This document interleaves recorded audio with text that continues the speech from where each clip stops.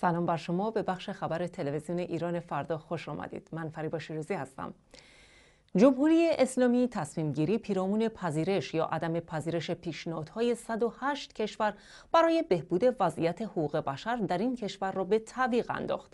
بررسی ادواری جهانی وضعیت حقوق بشر ایران روز 31 اکتبر سال جاری در مقر شورای حقوق بشر در ژنو برگزار شد.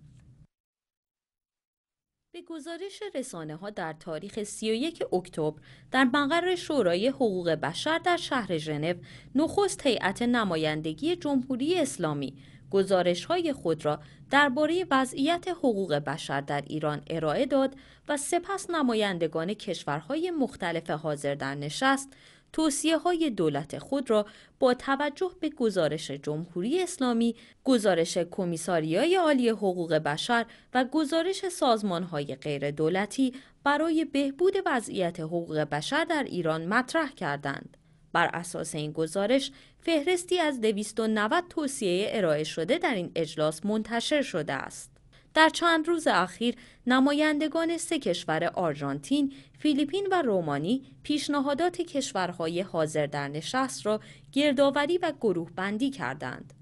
آنان علاوه بر این تا روز چهار نوامبر این توصیه ها را با هیئت نمایندگی جمهوری اسلامی ایران به بحث گذاشتند. این بار اما جمهوری اسلامی برخلاف دور اول اجلاس در سال 2010 که در همان مرحله اول برخی از توصیه ها را پذیرفت تعدادی را رد کرد و تعدادی را به بعد موکول کرد. تصمیم گیری پیرامون پذیرش یا عدم پذیرش پیشنهادات 108 کشور برای بهبود وضعیت حقوق بشر در این کشور را به تعویق انداخته است. شعله زمینی نماینده سازمان غیر دولتی زودویند در شورای حقوق بشر که در اجلاس بررسی ادواری وضعیت حقوق بشر در جهان حضور دارد. در این خصوص گفته است نفرات بالای هیئت نمایندگی ایران نسبت به سایر کشورها کاملا بیفایده بودند و آنها تنها حضوری نمایشی داشتند و هیچ کدام از پیشنهادها را طی صحبت با ترویکا آرژانتین، فیلیپین و رومانی نپذیرفتند و پذیرش یا عدم پذیرش توصیه ها را به ماه مارس 2015 همزمان با نشست 28 شورای حقوق بشر موکول کردند. حسن نایب هاشم دیگر نماینده سازمان غیردولتی زودوین در شورای حقوق بشر نیز گفته است در گزارش ترویکا هیئت نمایندگی رسمی ایران 22 نفر ذکر شده در حالی که بنابر اظهار فعالان حقوق بشر که در هتل‌های مختلف ژنو حضور داشتند تعداد بسیار بیشتری نیز خارج از محل اجلاس هیئت نمایندگی ایران را همراهی می‌کردند. گفتنی است همه کشورهای عضو سازمان ملل درباره بهبود وضعیت حقوق بشر در ایران پیشنهادهایی دادند. لغو اعدام کودکان، لغو مجازات همجنسگرایان، لغو مجازات سنگسار، آزادی اینترنت، رفع سانسور مطبوعات و گسترش آزادی بیان، بهبود وضعیت زنان و بهتر شدن میزان حضور آنان در اجتماع، توجه به حقوق زندانیان و حق آنان در داشتن وکیل، بهبود وضعیت زندانیان، قطع اعترافات اجباری به مسابه شکنجه زندانی، بهبود وضعیت حقوق دگرباشان جنسی و اقلیت‌های مذهبی، آزادی تجمع، آزادی زندانیان سیاسی، رعایت حقوق اقلیت‌های قومی از جمله کردها، توجه به حقوق دراویش، آزادی اقلیت‌های مذهبی زندانی چون بهاییان، توجه به حقوق بهاییان، توقف برنامه های رسانه رسمی برای تقطعه اقلیت‌ها، مبارزه با خشونت خانگی و جنسی و آزادی روزنامه نگاران زندانی از جمله پیشنهادهای 108 کشور حاضر در اجلاس شورای حقوق بشر سازمان ملل بودند که برای بهبود وضعیت حقوق بشر در ایران ارائه شدند. سازوکار اجلاس بررسی ادواری وضعیت حقوق بشر در جهان در پنجمین نشست شورای حقوق بشر در تاریخ 28 خرداد 86 با توافق اعضا به تصویب رسید و بنیانگذاری شد. این بررسی رویه‌ای دائمی است که در چارچوب آن وضعیت حقوق بشر کلیه کشورها در دوره های مشخص بررسی می شود. لازم به یادآوری است که پیشنهادهای ارائه شده در اجلاس شورای حقوق بشر سازمان ملل متحد هیچ کشوری را مجبور به اجرا نمی کند. در حقیقت یک کشور می تواند تمام پیشنهادها را رد و قبول نکند و این پیشنهادها زمانت اجرایی ندارند. حضور کشورها در این نشستها داوطلبانه است و سازوکارهای بین المللی نمی توانند کشورها را برای پذیرفتن پیشنهادات مطرح شده در جلسات بررسی ادواری وضعیت حقوق بشر اجبار کنند. رسانه های آمریکایی امروز از پیروزی جمهوری خواهان در انتخابات میان دوره‌ای سنای این کشور خبر دادند. به این ترتیب هر دو مجلس نمایندگان و سنا به کنترل آنها درآمد. با کنترل کنگره توسط جمهوری خواهان این حزب خواهد توانست در دو سال پایانی ریاست جمهوری باراک اوباما نقش پررنگتری ایفا کند. این دوره از انتخابات گرانترین انتخابات میان دوره‌ای در تاریخ آمریکا بود. انتخابات میان ای آمریکا برای تعیین بیش از 471 عضو کنگره و 36 فرماندار روز سهشنبه 13 آبان در این کشور آغاز شد. از آغاز به باور تحلیلگران مجلس نمایندگان همچنان در کنترل اکثریت جمهوری خواه میماند و نگاه ها بیشتر بر مجلس سنا متمرکز بود. از 100 کرسی مجلس سنا در قبل از انتخابات 45 کرسی در اختیار جمهوری خواهان بود. خبرگزاری فرانسه در گزارشی می‌گوید حزب ری جمهوری حاضر در قدرت از لحاظ تاریخی در انتخابات میان دوره‌ای دور دوم ریاست جمهوری وی متحمل شکست می شود و این بار هم چنین شد. پیروزی جمهوری خان در انتخابات میان دوره‌ای کنگره محدودیت های زیادی را برای باراک اوباما رئیس جمهور این کشور ایجاد خواهد کرد. طی هر سال گذشته این اولین بار است که جمهوری خواهان اکثریت کرسی های سنا را به دست می گیرند. در انتخابات روز گذشته جمهوری خواهان با 51 کرسی از 100 کرسی سنای آمریکا و داشتن اکثریت در مجلس نمایندگان دموکرات ها را شکست دادند. از سال 2006 تا پیش از این انتخابات دموکرات ها با 55 کرسی اکثریت سنا را در اختیار داشتند اما آنها با از دست دادن هفت کرسی سنا را به جمهوری خواهان واگذار کردند. گزارش ها نشان می دهد که جمهوری خواهان می توانند سلطه خود را بر مجلس نمایندگان که از سال 2010 تا کنون بر آن مسلط هستند همچنان حفظ کنند. آنها از 435 کرسی در مجلس نمایندگان بر 233 کرسی مسلط هستند. برخی کارشناسان پیش بینی کرده بودند که در این انتخابات جمهوری خواهان همچنان مجلس نمایندگان را در کنترل خود نگه دارند. رئیس جمهور آمریکا پیش از این گفته بود که ها در سنا ممکن است با سختترین رقابت انتخاباتی از سال 58 روبرو باشند. برخی از قانونگذاران مخالف دولت اوباما از نحوه برخورد رئیس جمهوری با های روسیه در اوکراین و حملات هوایی آمریکا به شبه نظامیان داعش در عراق و سوریه انتقاد کردند. با پیروزی جمهوری خواهان انتظار می رود که اختلافات میان رئیس جمهوری و کنگره بر سر طرحهای باراک اوباما برای اصلاح نظام خدمات درمانی مسئله مبارزه با ابولا و برخی سیاست های خارجی به ویژه در قبال جمهوری اسلامی تشریح شود. گفتنی است که پیش از این انتخابات نظرسنجی ها نشان می‌داد که محبوبیت باراک اوباما رئیس جمهور آمریکا در بین آمریکایی ها کاهش یافته است. به همین دلیل برخی شکست دموکرات ها و پیروزی جمهوری خواهان در کنترل سنا را نتیجه کاهش محبوبیت اوباما دانستند در همین حال باراک اوباما رئیس جمهور آمریکا رهبران دو حزب جمهوری خواهان و دموکراتها در مجلس نمایندگان و سنا را برای تشکیل جلسه ای در کاخ سفید دعوت کرد. در این جلسه که قرار است روز جمعه برگزار شود، رهبران دو حزب درباره مسائل مهم جهانی و چالش هایی که آمریکا در حال حاضر با آنها روبروست گفتگو خواهند کرد. مرزیه افخام سخنگوی وزارت خارجه جمهوری اسلامی خبر روزنامه آمریکایی نیویورک تایمز مبنی بر موافقت ایران با انتقال بخشی از اورانیوم غنی شده خود به روسیه را تکذیب و آن را جوسازی توصیف کرد. روزنامه نیویورک تایمز روز سهشنبه به نقل از مقامات و دیپلمات‌های حاضر در مذاکرات نوشته بود ایران در توافقی موقت پذیرفته است بخش اعظم اورانیوم غنی شده خود را به روسیه انتقال دهد. شرط انجام این توافق رسیدن به توافقی جامعتر با غرب عنوان شده بود. در آستانه دور تازه مذاکرات اتمی دو روحانی تندرو در ایران تلویحا به تیم مذاکره کننده ای گفتند مذاکرات را رها کنند علیرضا پناهیان به مذاکره کنندگان ای توصیه کرده با آمریکای نجس و خبیس با قدرت سخن بگویند و احمد علم الهدا امام جمعه موقت مشهد نیز گفته است سازش با یزید اقتصاد را درست نمی کند.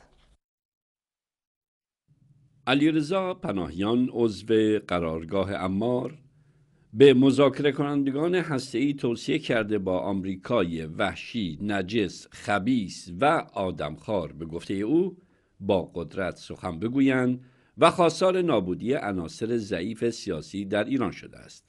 پناهیان افزوده اگر جمهوری اسلامی با آمریکا و غرب کنار بیاید ننگ ابدی بر پیشانیش خواهد خورد چرا که امروز عقل می‌گوید باید در برابر استکبار ایستادگی کرد. این روحانی محافظه کار به مذاکره کنندگان توصیه کرده با الگو از حضرت عباس در وقایع آشورا با طرفهای غربی به خصوص آمریکا وارد مذاکره شوند. پناهیان همچنین مدعی شده وقایع سال 88 منجر به افزایش تحریم ها علیه جمهوری اسلامی شده و غرب به خاطر ضعف سیاسی برخی مقام های نظام اقدام به افزایش دامنه تحریم ها کرده است. این روحانی نزدیک به علی خامنه ای گفته اگر عناصر سیاسی ضعیف در ایران نابود شوند استکبار در مقابل جمهوری اسلامی زانو خواهد زد. پناهیان نامی از این عناصر سیاسی نبرده اما به نظر می رسد منظور وی اصلاح طلبان و برخی از مقام های جمهوری اسلامی همچون اکبر هاشمی رفسنجانی و حسن روحانی باشد. حامیان علی خامنه از هاشمی رفسنجانی و روحانی به خاطر تلاش برای برقراری رابطه با آمریکا به شدت خشمگین هستند. در همین راستا احمد علم الهدا امام جمعه موقت مشهد نیز باراک اوباما و جانکری را یزید زمان معرفی کرده و گفته برخی جریان های سیاسی باید بدانند که نمی توانند با همدستی آمریکا به اهداف خود برسند.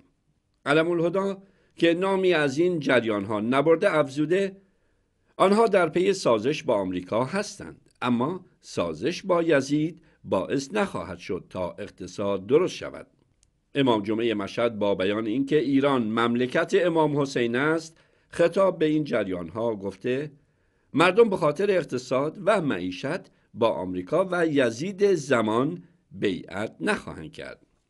محمد رضا نقدی رئیس سازمان بسیج نیز در سخنان معناداری گفته مذاکرات هسته‌ای جمهوری اسلامی با گروه پنجه به علاوه یک منجر به سازش نخواهد شد. محافظ کاران تندرو در واکنش به انتشار گزارشهایی مبنی بر توافق نهایی آمریکا و جمهوری اسلامی بر سر برنامه هسته‌ای تهران و به مناسبت روز 13 آبان حملات تندی متوجه مقام های ایالات متحده کردند. محور اصلی این حملات و موضع گیری های هماهنگ تأکید بر عقب نشینی نکردن جمهوری اسلامی مقابل آمریکا و ادامه برنامه هسته‌ای خود است. به نظر می رسد این حملات سازماندهی شده واکنشی به دیدار قریب البقوع محمد جواد ظریف با جان کری وزیر امور خارجه آمریکا در سلطنت عمان باشد که از محتوا و محورهای آن جزئیاتی منتشر نشده است. دوره بعدی مذاکرات جمهوری اسلامی و گروه پنج به علاوه یک در تاریخ 24 نوامبر در مسقط برگزار خواهد شد. وزارت کشور عربستان سعودی به رویترز اعلام کرده شمار کشته شدگان تیراندازی ها در شرق عربستان سعودی از پنج نفر به هشت نفر افزایش یافته است. سفرد مسلح پس از پارک خودروی خود در نزدیک یک حسینیه اقدام به تیراندازی به تعدادی از عزاداران شیعه کردند که طی آن هشت تن کشته و بیش از سی نفر زخمی شدند. وزارت کشور پادشاهی سعودی دیروز اعلام کرد شش نفر در ارتباط با این تیراندازی دستگیر شدند. خبرگزاری اسوسییتد پرس گزارش داد مصر، عربستان سعودی، امارات متحده عربی و کویت در حال مذاکره برای تشکیل یک پیمان همکاری نظامی هستند. هدف از این پیمان ایجاد نیروی نظامی مشترک برای مقابله با شبه نظامیان اسلامگرا در سراسر خاورمیانه اعلام شده است. این پیمان همچنین در راستای نمایش قدرت و ایجاد موازنه در برابر ایران رقیب سنتی این کشورها در منطقه است. مقام های ارشد مصر به آسوشیتد پرس گفتند دو کشور لیبی و یمن که مزنون به داشتن رابطه با ایران هستند را به عنوان خطر بالقوه در برابر این پیمان می‌بینند. در حالی که پترو پروشنکو رئیس جمهوری اوکراین فرمان اعزام نیروی اضافی به شرق و جنوب شرقی این کشور را صادر کرده فرماندهی ناتو نیز می‌گوید نیروهای روسیه در حال نزدیکتر شدن به مرز اوکراین هستند. روسیه اما اتهام دخالت نظامی در شرق اوکراین را رد کرده است. به گزارش خبرگزاری رویترز آقای پروشنکو اعلام کرد که به فرماندهان نظامی این کشور دستور داده است که در برابر حمله احتمالی جدایی طلبان هوادار روسیه به شهرهای شرق و جنوب شرقی اوکراین واحدهای نظامی جدیدی را به این مناطق اعزام کنند. وی در نشست شورای دفاع و امنیت ملی اوکراین گفت چندین گروه و واحد نظامی جدید تشکیل شدند که برای مقابله فوری با تهاجم احتمالی به ماریوپول، بردیانسک، خارکوف و شمال لوهانکس آمادگی دارند. این فرمان رئیس جمهوری اوکراین به دنبال انتخابات اخیر در ایالتهای شرقی دونتسک و لوهانسک صادر می شود. شورشیان جدایی طلب شرق اوکراین روز یکشنبه با برگزاری انتخاباتی الکساندر زاخارچنکو و ایگور پلوتنیتسکی را به عنوان رؤسای جمهوری دونتسک و لوهانسک برگزیدند. اما این اقدام اعتراض شدید کیف، اتحادیه اروپا، آمریکا و دبیر کل سازمان ملل متحد را به دنبال داشت که معتقدند این انتخابات غیرقانونی و نامشروع است و اراده مردم را نمایان نمی کند در حالی که روسیه خود را حامی انتخابات معرفی کرده است. در این شرایط پترو پروشنکو بار دیگر انتخابات روز یکشنبه را ساختگی خواند و تاکید کرد که این انتخابات شروط توافق صلح میان کیف و جدایی طلبان را نقض می کند که ماه سپتامبر با هدف پایان دادن به هفت ماه جنگ در این کشور حاصل آمده بود.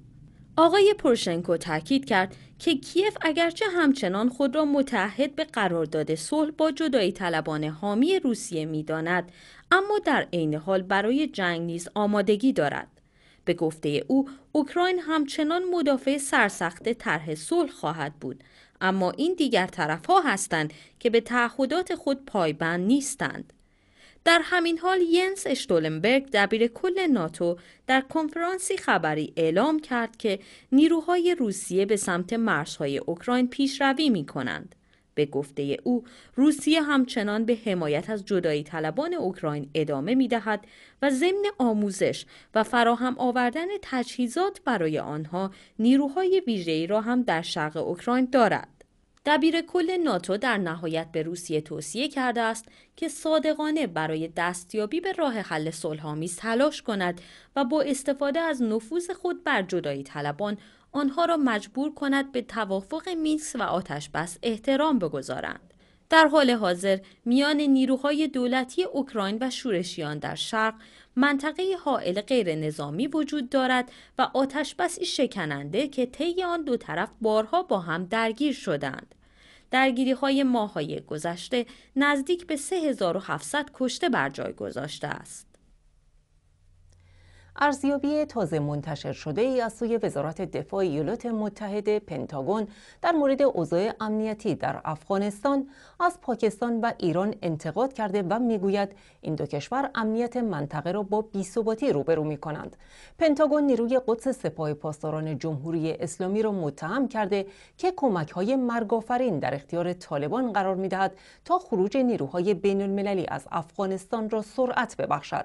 جمهوری اسلامی با ادامه حضور نیروهای خارجی در افغانستان مخالفت کرده هرچند دخالت در آن کشور را رد می کند. وزارت دفاع ایالات متحده در ارزیابی خود می‌گوید جمهوری اسلامی با خرج یک میلیارد دلار در افغانستان تلاش کرده تا احساسات پشتیبانی از ایران و شیعهگری در آن کشور را افزایش دهد. عملیات مشترک مدافعین کوبانی به کمک نیروهای تازه نفس پیشمرگه و ارتش آزاد در دو روز گذشته منجر به عقب نشینی این گروه از بخشهای شرقی شهر کوبانی شد. مایستان بختیاری خبرنگار ما از ترکیه و جزئیات بیشتر.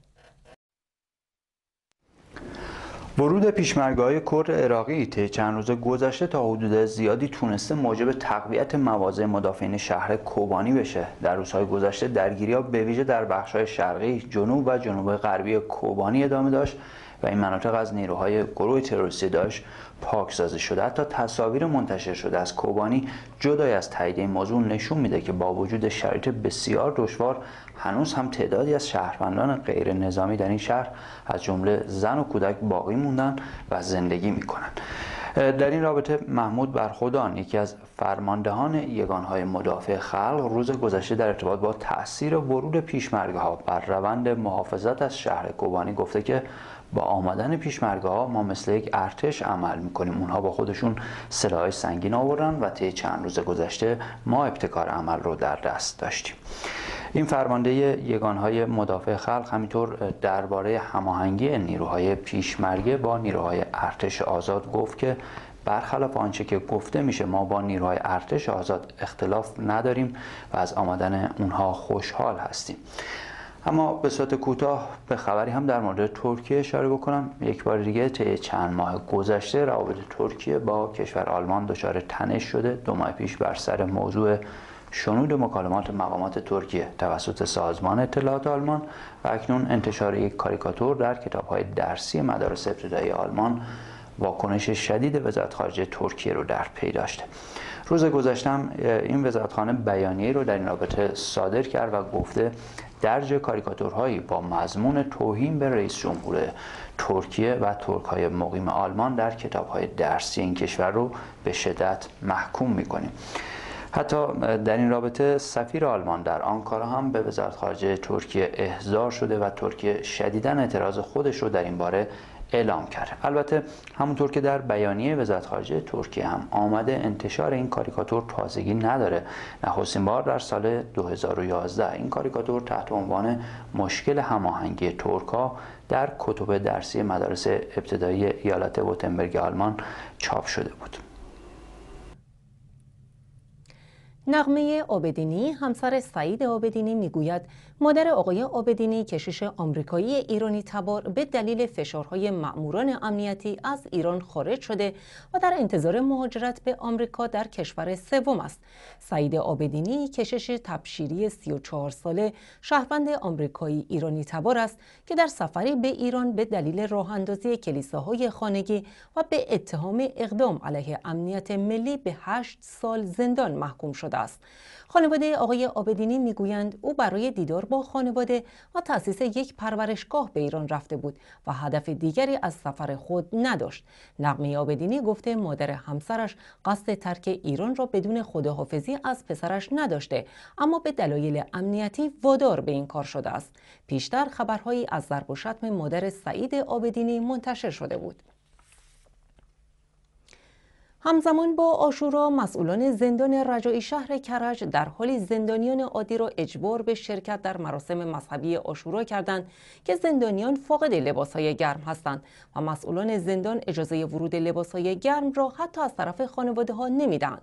یکی از زندانیان به گزارشگر هرانا گفته هیچ کدام از زندانیان برای شرکت در مراسم مراسم امام حسین ناراحت نبودند ولی هوا خیلی سرد بود و اجبار زندانیان برای حضور در این هوای سرد باعث بروز اعتراضاتی شد.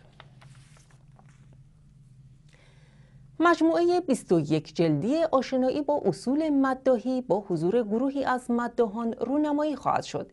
این مجموعه از سوی مؤسسه قدیم الاحسان منتشر شده و قرار است طی مراسمی در 19 آبان ماه رونمایی شود.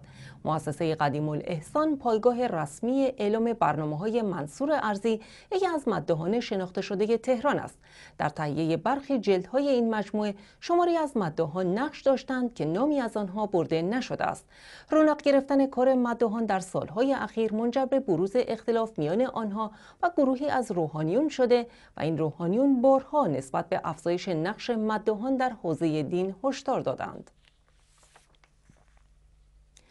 حسن ممدوحی عضو مجلس خبرگان رهبری و از اعضای جامعه مدرسین حوزه علمیه قوم با تایید سخنان احمد جنتی گفته است ما به اصحاب فتنه خیلی ارفاق کردیم که آنها را در خانه نگه داشتیم تا جانشان را حفظ کنیم تا دیگران به آنها تعرض نکنند. به خاطر نشان کرده مردم باید بدانند هر کسی دوباره مسئله اصحاب فتنه را مطرح کند به دنبال سیاه نمایی و ایجاد اختلاف میان مردم است. یک عضو کمیسیون حقوقی و قضایی مجلس شورای اسلامی می‌گوید در طرح جرم سیاسی که در های مجلس در دست بررسی است حبس و حصر خانگی به عنوان مجازات بدل از حبس گنجانده شده است. حصر خانگی در قوانین جمهوری اسلامی وجود ندارد اما بسیاری از منتقدان حکومت سالها در حصر خانگی به سر می‌برند. ابوالفضل ابو ترابی عضو کمیسیون حقوقی مجلس شورای اسلامی در مصاحبه با خبرگزاری کار ایران ایلنا با اشاره به مجازات بدل از حبس تصریح کرد ما در طرح جرم سیاسی این ظرفیت را به صورت بدل از حبس و حصر خانگی دیده ایم ولی مصادیق آن را نگفته ایم. به اضافه کرد مصادیق را خود دستگاه قضایی در قوانین و آینامه های داخلی تعیین کرده و می توانند حصر خانگی یا زندان خانگی و استفاده از دستبند و پابند الکترونیکی را در قبال مجرمان سیاسی انجام دهند. نماینده نجاف آباد در مجلس شورای اسلامی گفت که خیلی از جرایم با حبس در زندان حل نمی شود و حتی ممکن است که مشکل زانیز باشد.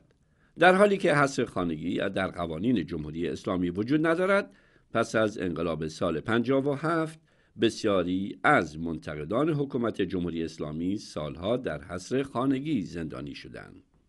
نورالدین کیانوری دبیر کل پیشین حزب توده ایران و آیت الله حسین علی منتظری که از منتقدین حکومت جمهوری اسلامی بود سالها در حصر خانگی زندگی می‌کردند. میر حسین موسوی، زهرا رهنورد و مهدی کروبی رهبران اعتراض به نتیجه انتخابات ریاست جمهوری 88 از بهمن سال 89 بدون محاکمه در حصر خانگی به سر می‌برند. عضو کمیسیون حقوقی و قضایی مجلس در مصاحبه خود همچنین درباره امکانات لازم برای اجرای مواد طرح جرم سیاسی و مواردی چون ملاقات روزانه زندانیان سیاسی با اقوام درجه یک و دسترسی به مجلات، کتاب و اینترنت نیز گفت به صورت آزمایشی در استان اصفهان کارهایی صورت گرفت ولی واقعیت امر این است که ها هنوز فراهم نیست. ابو ترابی از برگزاری جلساتی با سازمان زندانها و قوه قضایی در رابطه با طرح جرم سیاسی خبر داد و افزود ملاقات هر روزه با اقوام درجه یک یا دسترسی به اینترنت و نشریات همچنین جداسازی زندانیان سیاسی از سایر جرایم خشن هزینه ای ندارد که سازمان زندانها بخواهد از اجرای آن شان خالی کنند. طرح جرم سیاسی در سیاکم شهریور ماه 92 در جلسه علنی مجلس اعلام وصول شد و در حال حاضر در کمیسیون های مجلس در دست بررسی است. بر اساس این طرح هرگاه رفتاری با انگیزه نقد عملکرد حاکمیت یا کسب یا حفظ قدرت واقع شود بدون آنکه مرتکب قصد ضربه زدن به اصول و چارچوب های بنیادین نظام جمهوری اسلامی را داشته باشد این اقدام جرم سیاسی محسوب می شود در صورت تصویب نهایی طرح نمایندگان رسیدگی به جرائم سیاسی در دادگاه کیفری مرکز استان به صورت علنی و با حضور هیئت منصفه انجام خواهد شد.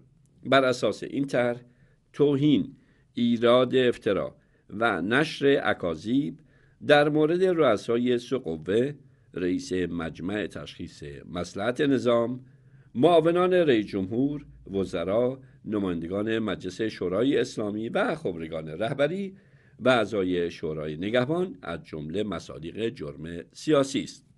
در این طرح مزایایی نیز برای زندانیان سیاسی پیش بینی شده است که از جمله آنها ممنوعیت وادار کردن به پوشیدن لباس زندان ممنوعیت دستبند زدن حق ملاقات و مکاتبه مستمر با بستگان و آشنایان در طول مدت حبس و حق دسترسی به کتب، نشریات، رادیو و تلویزیون در طول مدت حبس است. رویترز گزارش داد در نتیجه تعدیل تحریم های قدرت های غربی علیه جمهوری اسلامی صادرات آلمان به ایران در جریان هشت ماهه نخست سال جاری میلادی حدود 33 درصد و به میزان یک میلیارد و 600 میلیون یورو نسبت به مدت مشابه سال قبل افزایش یافته است. در سالهای 2012 و 2013 صادرات آلمان به ایران به ترتیب به میزان 18 و 26 درصد کاهش یافته بود. به نقل از ناظران افزوده است افزایش اندک صادرات آلمان به ایران در بستر کند شدن رشد اقتصادی در آلمان برای دولت این کشور که در جستجوی مفری در بازارهای خارجی است امیدوار کننده است. امید ستایش پور قهرمان ایران و آسیا در رشته پاورلیفتینگ برای گذران زندگی و تأمین هزینه تمرینات خود مجبور به دست فروشی در کنار خیابان شده است. این ورزشکار که سابقه قهرمانی در چند تورنمنت آسیایی در سالهای پایانی دهه 80 خورشیدی را دارد به خبرگزاری مهر گفته بعد از آن قهرمانی ها به رقابت های جهانی دعوت شد اما به دلیل نداشتن کارت پایان خدمت و عدم همکاری مسئولان ورزش کشور از اعزام باز ماند. امید ستایشپور ابراز امیدواری کرده که شهرداری مجوز دستفروشی در بازارچه را به او بدهد تا او بتواند هزینه زندگی و شرکت در مسابقات را تامین کند.